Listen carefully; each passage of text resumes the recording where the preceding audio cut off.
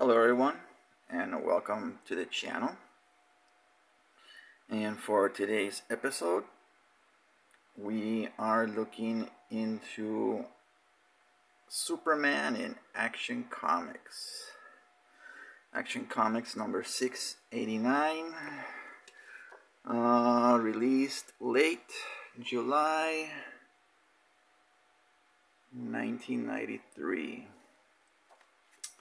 so this is um, right smack dab in the middle of the whole uh, death of Superman, reign of Superman um, arc. You know, after um,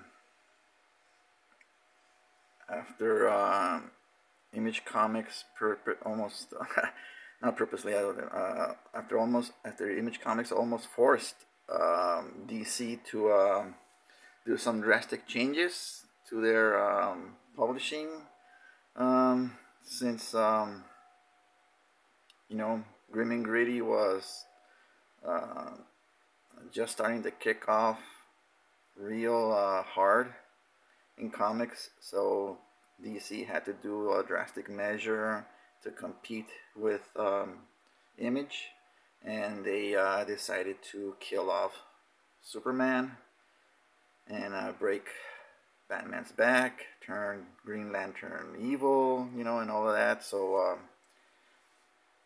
this is right in that era of comics. And uh, here we have uh, an issue that I got, uh, which is part of the whole Reign of Superman, which is when, as you see here in the cover, you know, uh, when Superman died, then we have four versions of him come back. We had uh, Steel, the Eradicator, we had Cyborg Superman, and uh, Superboy. And uh, on this issue, uh, you know, uh, you know, I um, we'll get into the issue in just a second, but um, I'm not really, you know, that big a fan of Superman in comics. I mean, I like the character, but I mean, he's not my favorite or anything. Probably not even my top five, uh, or even top ten. I don't know. Uh, but um, uh, this is aside from uh, the uh, Jim Lee run that he did in the 2000s after he did Hush. He did a 12 issue run on uh, Superman. so other than that, this is the only other time that I ever collected Superman comics like consistently because of the whole death of Superman and his return and all of that. So I have uh, a lot of those comics in uh, in the black bag because uh, you know I was just buying just to keep up with the story, but um, uh, you know I'm not really I wasn't really that invested in the character as a whole. You know I just wanted to see what was happening. So um, here we have this issue. Um, I think it's almost near the end um, of the whole storyline. Uh, this issue uh, titled, you know, Who Watches the Superman? Um, the uh, the credits here we have Roger Stern, Jackson Guice, and Denis Rodier, Rodier, Rodier, however you say his name. Uh, Stern is the uh, writer, Guice is the artist, the penciler, and Rodier, I'm assuming the inker. We'll check the credits in the, in the inside. Um, but yeah, well, let's take a jump into the issue. Uh, if you hear my fan in the background, uh, it's because I uh, it's pretty hot here right now, and um, I need to close the windows in my room. Otherwise, the outside noise will come in, and um, it's just gonna be uh, distracting in the video so here we go. And I'm also drinking some water. So here we have this opening uh, splash page of a uh, reporter from GBS um, I think this is Betty Brant. don't not exactly sure. Wait, no, Betty Brant is Marvel, right? Um, yeah, I think so. I don't know who this is. Anyway, they're reporting on uh, some uh, big fight that was happening in the previous issue on the Brooklyn Bridge. Uh, and uh, this is a pretty cool uh, shot here. Um, the artist, um, uh, Jackson Guice, is a pretty accomplished artist. His style is more close to photorealistic than uh, you know the cartoony side. I mean, it does have its cartoony uh, elements to it, uh, you know, but uh, it's almost I want to say like um, a precursor to like the Bryan Hitch style of realism that he brought to comics. Um, don't quote me on this, but I believe you know uh, Jackson Guice you know does use like photo reference for his for his characters. Uh, you know, just for the features, not necessarily to cast. Like again, like Bryan Hitch, you know, obviously using um, Samuel L. Jackson for uh, Nick Fury, and um, pretty sure he used um, Brad Pitt as his Thor, you know, and all of that. So, uh, you know, again, uh, I'm not saying he uses photo reference in that style, uh, Jackson Guice, but I'm pretty sure he does use photo reference for like, I mean, for instance, right on the first page, right, you can see how the features are, you know, pretty, the proportions and everything are pretty realistic, right? So this shot of the, uh, I'm assuming, you know, it's the Brooklyn Bridge in real life, but obviously this is like Gotham, well, not Gotham, but Metropolis and whatnot, so they call it something else. Uh, so this is pretty much a, uh, a pretty basic establishing shot, uh, splash page, you know. Um, here we have a Superboy and a Supergirl. You know, I, I, I, I don't remember what happened in the previous issue, who they were fighting. Um, but um, but as you can see, you know, a lot of um, well, they lost half the bridge, so um, it was a pretty epic fight, I would guess. Um, but yeah, you can see a lot of, you know, for me as an artist, uh, drawing debris is one of the hardest things to fake because of its randomness that you have to uh, you know employ when drawing it. I mean you would think that drawing you know a bunch of stuff in, in a background and whatnot would be easy but to make it purposefully random is hard because you don't want it to look like you you purposely drew a, uh, you know a beam coming out or a specific rock or rocks you know piled up neatly one over the other you know. It's the randomness of the um, of the rubble that's that sells you the image right? So doing stuff like this you know it is is it's not as easy as it looks stuff like this as well you know? So you gotta look at you know some reference to uh, get an idea of just how you know random uh, you know if you look at um, if you look at uh, well you know I guess the best example is what happened in the Twin Towers on 9/11 so just the randomness of how all of the debris fell uh, you know, it's a good uh, example of looking at that. Also, the smoke is a pretty, uh, you know, the uh, the way he drew it is almost similar to how I draw smoke, and almost like uh, two or three bubbles, you know, uh, one, uh, um, you know, next to each other. Know, so this is. Uh, a good example of uh, you know you want to look at how to draw smoke you know this is pretty much it. Same for the clouds you know smoking clouds you draw in the same way but obviously you gotta use more uh, shadows and, and whatnot with uh, smoke but you can, you can just leave that to the colorist like he did here.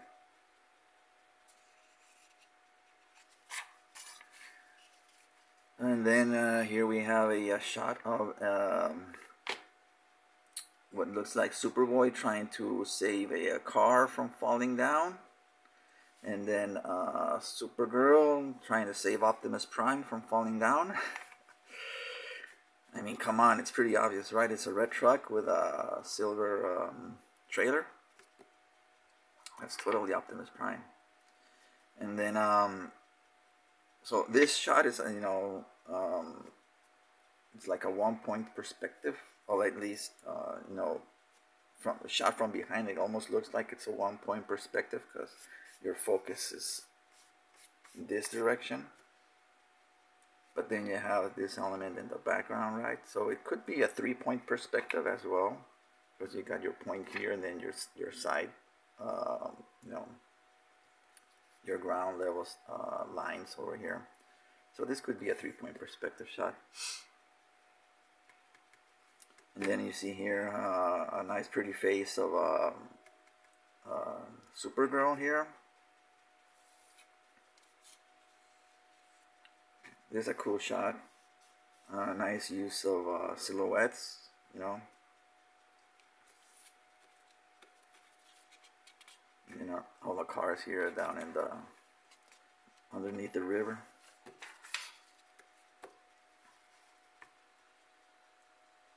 So yeah, uh, Jackson Guice is, uh, like I said, a pretty accomplished artist. So, uh, like I said, uh, not uh, more, not, not more, not most of the uh, the issues that I have in this that I'm gonna be showing in this series, like I mentioned earlier, doesn't mean that they suck or anything. This is a good example of a good issue. It's just that it's just that it's just one of some of many comics that I bought in, in the '90s that it falls under the random part of it, you know. And like I uh, said, I uh, I keep the my the the what I consider my personal uh, issue, uh, personal uh, you know best issues in the long boxes and keep everything else in the in the bag. Uh, but no, I mean you can see here um, Jackson Guice is, is killing it, you know, with everything. Perfect framing, you know, nice use of perspective shots here. Uh, he's um, and he's also you know um, his layouts although they seem simple although they seem simple you know and constrained within the uh, the boxes of what of the panels and you know uh, a simple grid like fashion he does you know once in a while break the panel to keep uh, keep it exciting and then overlapping panels you know open panels, right? Everything to um, to um, to keep the uh, the reader uh, interested in the art, and not just moving moving you across the page just to get uh, or not having the the story move you around the page, right? And uh, so then we then switch perspectives into like a um, a robot you know some sci-fi station here somebody looking on at what's going on in the news. And uh, and then it's finally revealed that uh, it's uh, well what at the time you know people thought or you know didn't know was the true Superman Kal-El um, people were wondering if this is uh, another uh, you know fake like the uh, the other four, but I think that you know it turns out that this was the the real deal. Pretty sure this is him. I don't think this is Eradicator. Uh, again, I'm not. Uh, it's been a while since I read this issue, so I'm not exactly sure what happens. It kind of looks like the Eradicator suit, but I know Superman came out with a black suit as well, so I'm trying to remember.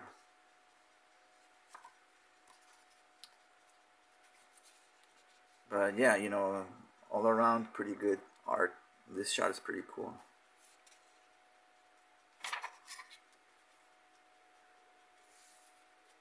So you can see that um,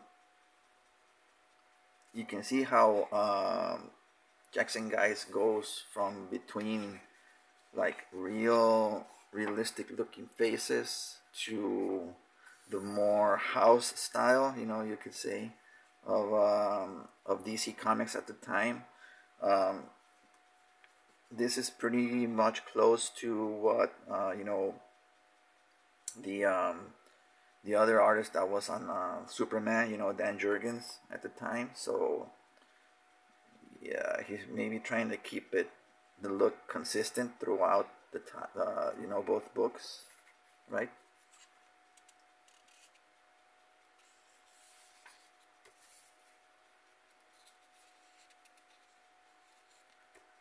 You see here, you know, this is the Eradicator.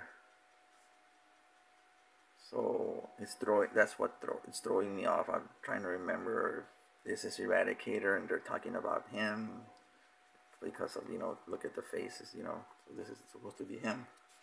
Well, again, supposed you know, Eradicator is supposed to look like him. So even I'm lost. Um. But yeah, I'm trying to remember who this reporter is.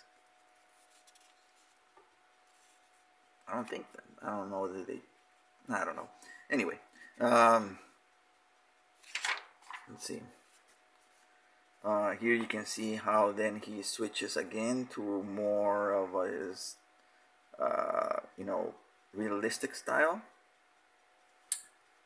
Maybe it's partially due to the uh, the inker, because again, the credits do say that it's uh, you know both Jackson Guice and Denis Rodier as the artists. Usually, when they say that, they always imply one is the the uh, penciler and the inker, right? So they call them as a you know a team. But sometimes you know they may um, they may uh, let's say for instance Jackson Guice maybe didn't finish a complete page, and the inker then goes in and finishes it, right? So that's why certain at times. Uh, uh, certain art styles. You may recognize an art style and you, know an artist's art style, and you see a switch. Uh, usually it's because you know uh, somebody else tried to finish their art for them. Uh, so going from this to something like this makes me think that maybe the inker did uh, more heavy lifting on this page. But, so again, this is what, you know, this looks very much like photo, not photo reference, but, you know, again, like more photo real and um, more realistic in the style that, that I explained, you know, like um, the Bryan Hitch style. And you have your uh, Lex Luthor I don't know exactly the story behind that version of Lex Luthor. I think he was supposed to be like a clone of the original Lex, and then I don't know what else happened. So, um, but yeah, you can see, um, you know, excellent. You know, there's a pretty, you know, I mean, you already know you're in Metropolis, right? You see the big L for the building, so you know it's the LexCorp building. Uh, so it's a nice establishing shot. You don't have to go real big. Um, right? You can focus on something else as the main focus of the page. So for instance, you know, immediately immediately from this you go to this and you know, oh yeah, you know, that's it's Lex, the focus of the page, right?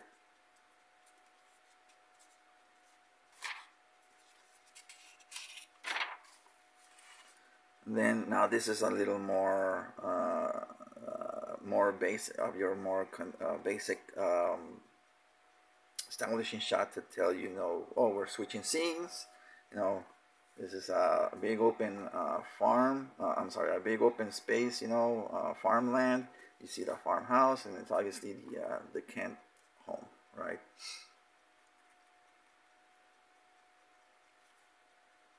and they're seeing in the news all of this about how Superman is gone and all of this and that and the other. So um, this is a cool, uh, you know. I'm not um, trying to remember. A point of view uh, shot. You know, this is more like you're you're in you're looking at what uh, Pa Kent is looking at, like from his point of view. So is a cool shot. I try and implement that in my work um, a lot.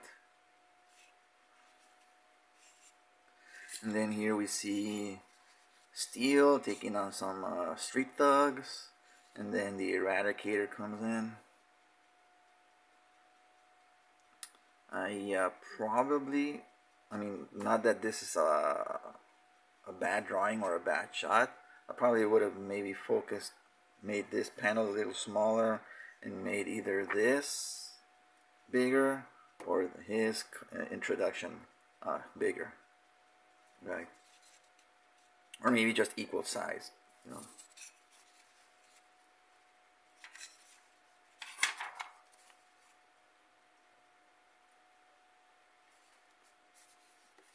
So yeah, you know, pretty big, wide, uh, you know, cinematic style uh, panels, you know, the widescreen panels.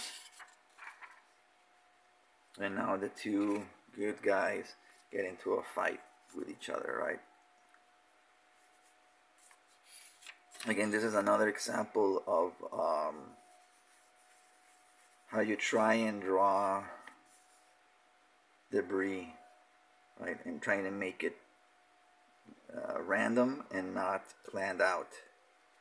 You know, you don't want to. Um, you don't want to uh, have it look like it's purposeful. And then here we have uh, Lois, presumably talking to Jimmy Olsen. And then apparently they hear the commotion outside, what's going on, and then, you know, they're right in the middle of the fight.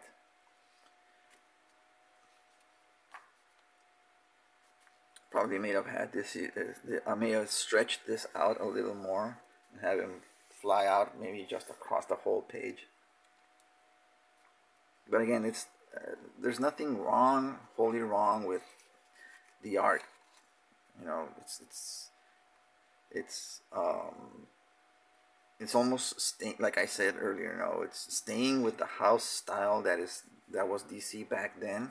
It's not uh, too crazy. It's not too um, in your face like the typical image style that was taking over. Uh, you know, most comics at the time. They had uh, DC had their way of doing things, and that's pretty much how they stayed until basically I want to say till they uh, bought out Wildstorm, you know.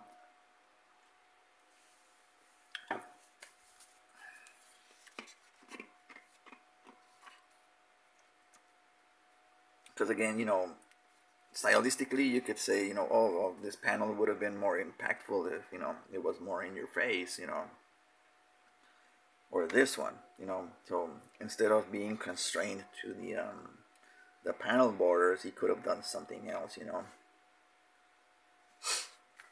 But again, all the art is it's, it's good. I mean, there's nothing really you can look at it and say and complain anything about it. It's it's it's it's nice comic book art, you know. And you see here finally the uh, heroes coming into an understanding of some sorts, right, because of Lois.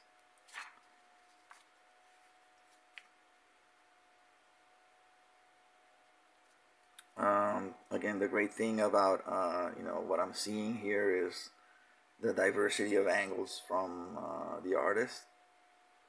Right, nothing is nothing is repeated too often in a page as far as shots go.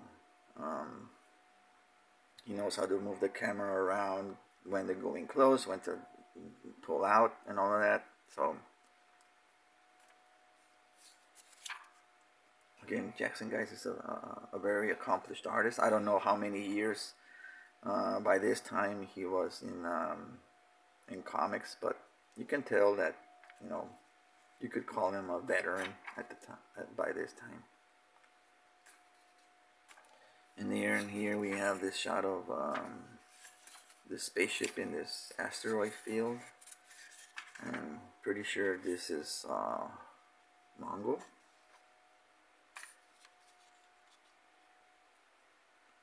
And then uh, let's see.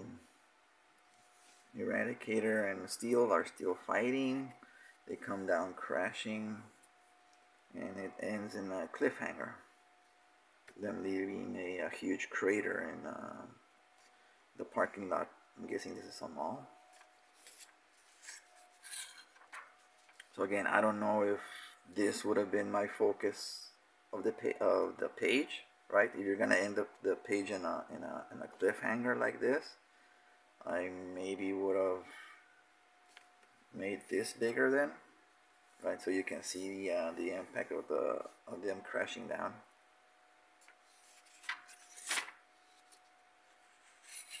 So yeah, that's um, Action Comics uh, six eighty nine, one dollar fifty cents